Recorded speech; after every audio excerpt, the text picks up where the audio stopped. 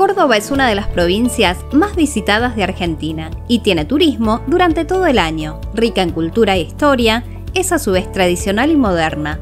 Tiene sierras, ríos, lagos, arroyos, llanuras, áreas verdes y boscosas. Una correcta síntesis de naturaleza y urbanismo, con incontables atractivos para ofrecerle al turista. En este video les vamos a mostrar 17 lugares que visitamos de Córdoba y que a nuestro criterio no pueden dejar pasar si recorren esta provincia. 1. Comenzamos por Córdoba Capital. Es una de las ciudades más pobladas de la Argentina. Tiene más de 4 siglos de historia. Entre sus principales atractivos se destacan la Cañada, la Iglesia Catedral, el Paseo del Buen Pastor, el Palacio Ferreira, la Iglesia Sagrado Corazón de Jesús y la valiosa Manzana Jesuítica.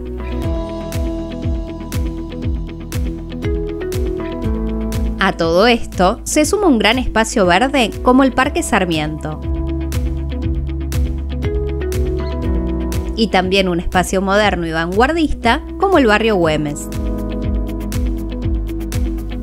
2. Carlos Paz.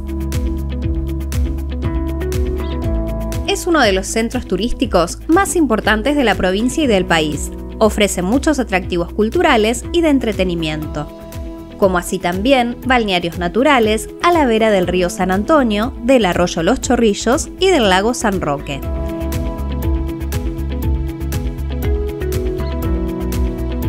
Un emblema de la ciudad es el reloj cucú. No puede faltar un paseo en aerosilla y el ascenso al Cerro La Cruz. Y si nos alejamos un poco del centro, no podemos dejar de visitar el dique San Roque y su emblemático embudo.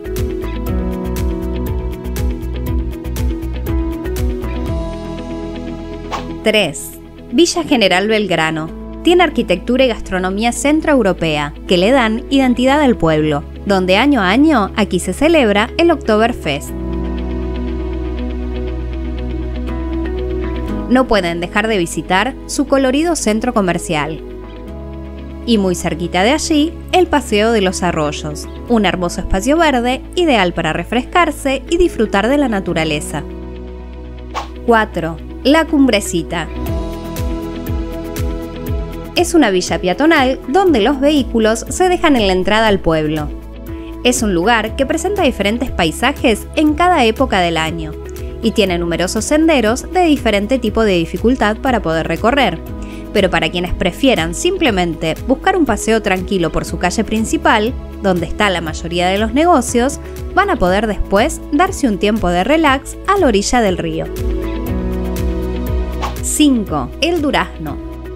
Muy cerca de Villa Yacanto se encuentra este paraje secreto repleto de paz en medio de las sierras cordobesas. Van a tener accesos a los balnearios y a los cajones. También pueden caminar un poco por el pueblo, que si bien no cuenta con una estructura turística muy desarrollada, es ideal para gozar de un ambiente serrano, rodeado de bellos pinares y mucha tranquilidad. 6. Tanti, Tanti es un excelente destino para disfrutar y descansar en el corazón del Valle de Punilla. Se pueden visitar sus balnearios y cascadas, también recorrer un poco el pueblo.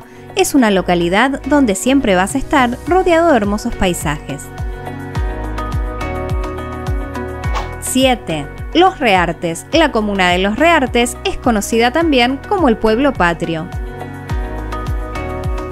inmerso en el Valle de Calamuchita, es un lugar que se presenta de forma ideal para relajarse, disfrutar de la naturaleza y los sabores criollos. Un lugar donde toda la historia se hace presente y donde tenés eventos todo el año. 8. Alta Gracia.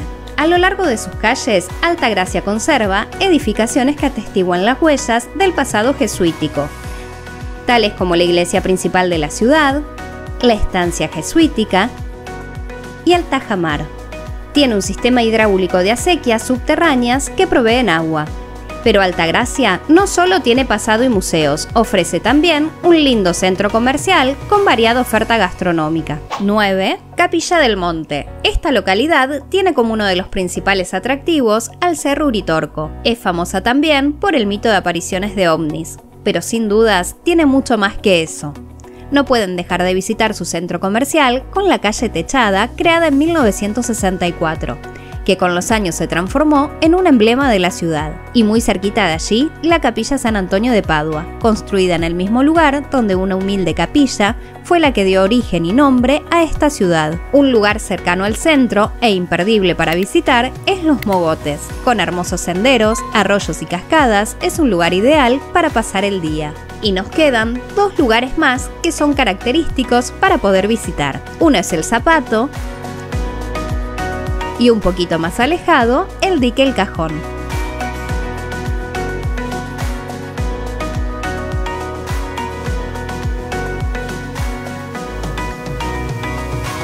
...10... San Marcos Sierra. Una buena opción de turismo ecológico y alternativo. Es conocido como el pueblo hippie y como la capital de la miel. Un lugar para ir sin apuros y ponerse en contacto con la naturaleza. Sin dudas, pasear por sus calles, ascender al Cerro de la Cruz, caminar por los túneles vegetales y visitar alguno de sus balnearios son actividades que no pueden dejar de hacer si visitan este lugar. 11. Villa Jardino, conocida también como el Jardín de Punilla. Uno de los lugares a visitar es la Plaza San Martín, muy cerquita de allí su reloj floral y saliendo del centro pueden visitar el Molino de Tea, que es un antiguo molino de piedra de la era colonial, que se encuentra al margen del río Grande de Punilla. Otro paseo infaltable es visitar el Camino de los Artesanos. Y por último, y a tan solo 20 minutos del centro, encontramos el balneario Los Quimbaletes. 12. La Falda. La Falda es una de las ciudades más tradicionales de las sierras de Punilla. Tiene un centro muy animado y mucha historia que contar. Esta localidad es conocida ya que allí se encuentra el emblemático Teledén. Otro imperdible para visitar en esta localidad es el dique La Falda y el Perilago, y muy cerquita de allí, el complejo Siete Cascadas. Si les gusta el senderismo, no pueden dejar de visitar el Cerro La Banderita. 13. La Cumbre es una ciudad donde van a encontrar el legado de inmigrantes británicos, un lugar muy tranquilo donde además de senderismo y museos no podés dejar de visitar la capilla de San Roque, que tuvo sus inicios en el 1898. Y frente a esta tenés el ascenso al Cristo Redentor, desde donde van a tener unas hermosas vistas.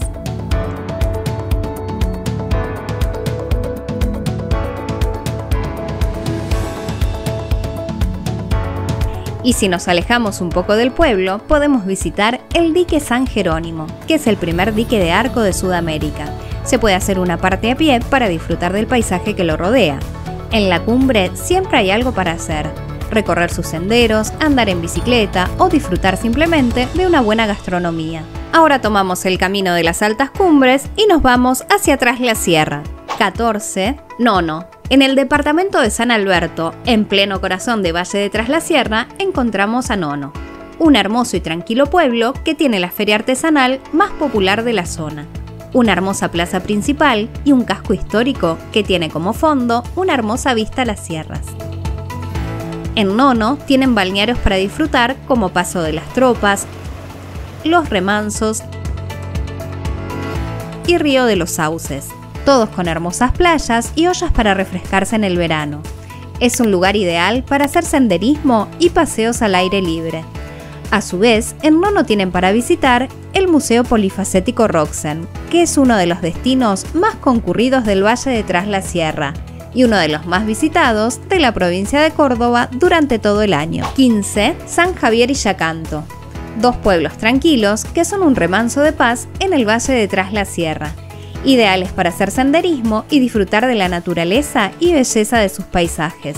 16. Mina Clavero. Muy cerquita de Nono encontramos Mina Clavero, este pueblo cordobés que es elegido cada año por miles de turistas que llegan en busca de la belleza de sus paisajes y la paz de su río y arroyos es el pueblo más desarrollado en infraestructura turística del Valle de Tras la Sierra. Tiene hermosos balnearios para visitar como Nido del Águila, La Toma, Las Calaveras y Los Elefantes.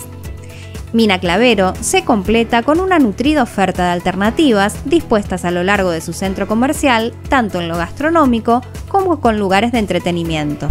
17. Cura Brochero. Villa Cura Brochero presenta paisajes y rincones naturales para disfrutar del descanso en familia. Las aguas cálidas del río Panaolma son las preferidas de los turistas que llegan al valle de Tras la Sierra. Además de sus balnearios, van a poder visitar su centro comercial, su catedral, el museo y el parque brocheriano. Si elegiste alguno de estos lugares como tu próximo destino, no olvides pasar por el canal y chequear en los videos que ya subimos donde vas a encontrar la información detallada de cada uno de ellos. Esperamos que este video te haya servido para armar tu próximo viaje.